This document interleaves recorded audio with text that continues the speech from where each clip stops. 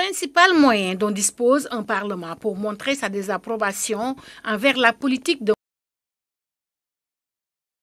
gouvernement est la motion de censure, un outil constitutionnel à la disposition de l'Assemblée nationale pour exprimer un désaccord et témoigner de sa défiance envers le gouvernement en place. Le vote par l'Assemblée nationale d'une motion de censure entraîne la démission collective du cabinet du Premier ministre.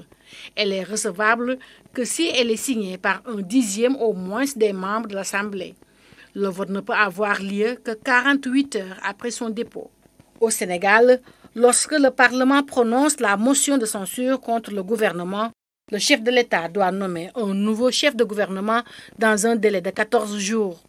Dans le cas contraire, elle devrait subir une dissolution automatique qui mènerait à de nouvelles élections législatives.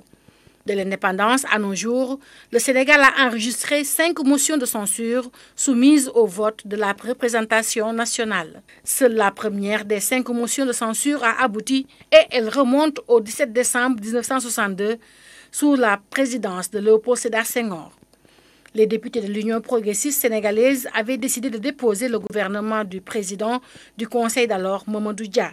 La deuxième a eu lieu vers la fin de règne d'Abdou Diouf en 1998, une initiative parlementaire de l'opposition qui voulait renverser le gouvernement du Premier ministre Mamadou Lamine Loum. Mama Boy, deuxième Premier ministre du président Abdoulaye Wade, a aussi fait l'objet de convocation par la représentation nationale le 18 avril 2002. Sous la présidence de Macky Sall, son premier ministre Abdoul a aussi subi un vote de défiance présidé par la nouvelle opposition, une motion de censure rejetée en décembre 2012. Amadouba sera à son tour convoqué en décembre 2022 devant le Parlement. Une seconde initiative parlementaire visant à faire tomber le gouvernement de Macky Sall sans succès.